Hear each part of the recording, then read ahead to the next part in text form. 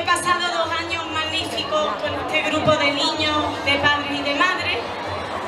Y decir que me llega al corazón que cuando después de dos años llegan unos niños que fabrican un librito que es su mejor regalo y te dicen, Señor, contigo hemos trabajado, hemos aprendido, pero lo que más me ha gustado es que al final ponía nos hemos divertido.